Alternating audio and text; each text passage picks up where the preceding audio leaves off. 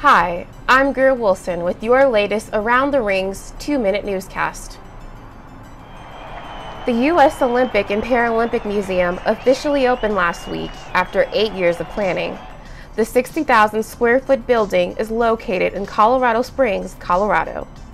The museum was supposed to open in May, but was pushed back because of the pandemic.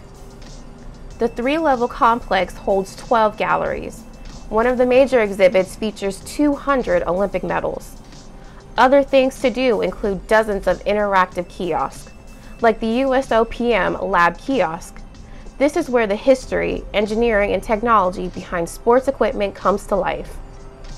This one focuses on Michael Johnson's custom designed shoes that he wore in the 1996 games in Atlanta. Maybe it was the design that helped him win two gold medals. An exhibition of paintings is also featured by American artist Leroy Neiman.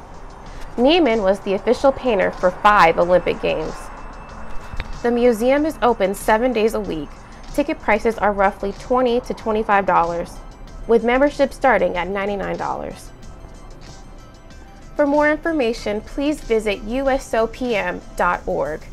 I'm Greer Wilson signing out now. For more updates, check out aroundtherings.com.